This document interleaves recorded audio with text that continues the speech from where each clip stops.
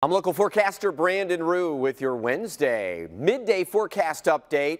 Temperatures will be warming, a little early afternoon lull in the action where we have more wet weather coming though later this afternoon and this evening. 55 degrees, maybe even a little warmer than that. Again, the longer we get this lull in the action from the rain, the warmer our temperatures can get today. Overnight, cooler air will be coming back in. Mostly dry, cloudy, cool, but couple of flakes possible. Let's take a look at the uh, computer model. And again, it does show this swath of moisture coming in from the south and southwest through the uh, later afternoon and evening, probably the heaviest of it.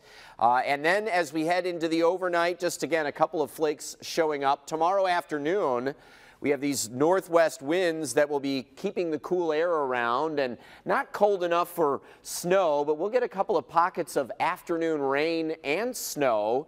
So we do have a little bit more wet weather still to deal with tomorrow. Shouldn't be terrible, but again, some light snow or mix through the afternoon hours tomorrow. Friday, the home opener at Comerica. We could see a couple of hours of sun cloud mixture in the afternoon, allowing temps to get up to 40, but we're again warning people to prepare for 30s, a little bit on the breezy side, maybe a couple of flakes and flurries, not terrible, but certainly chilly. Colder on Saturday. The pick of the three days for these home games would be on Sunday.